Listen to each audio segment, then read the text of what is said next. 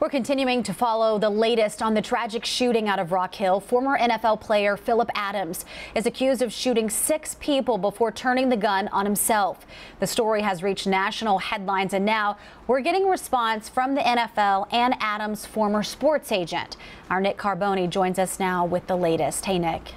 Hey, Sarah seasons in the NFL with six different teams. We asked the league for a statement yesterday, and here is what they said. Quote, our hearts go out to the families and friends of the victims of this devastating tragedy, end quote. We also heard from Adams' former agent, Scott Casterline, who told the Associated Press that Adams was depressed and had trouble adjusting to his post-football life, saying, I felt he was lost without football. He also says that Adams would not seek the help those around him thought he should have.